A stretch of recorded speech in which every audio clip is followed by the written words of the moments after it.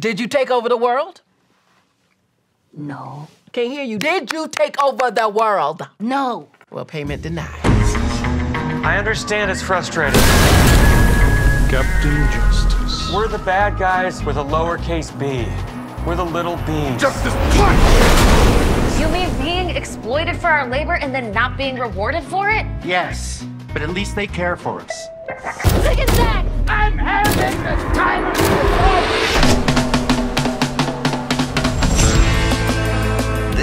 is a Promethean mind control chip. How did you guys get one of these? You have a very specialized team. That's Alex. He doesn't know it, but his boss was slain while trying to sell him to some psychos. He's our new intern. Coolio. I'll grab the bag. Hey! Hey! This is our spot! Oh, well, excuse me for using my charms to further our designs. You don't have charms, you have arthritis. They're called jazz hands. Oh, I'll show you jazz hands. Oh, yeah. You your concern, but world domination is not gonna fund itself.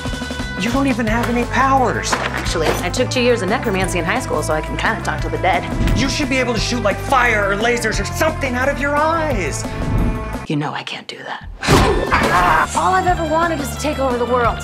When you're born a henchman, you don't really get that chance. Maybe it's time for someone without powers to conquer the earth. A blue-collar bad girl. A villain for the people.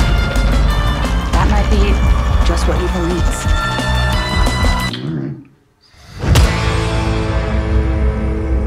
Villain name? Beatrix the Eviscerator. Taken. Beatrix 89. Also taken.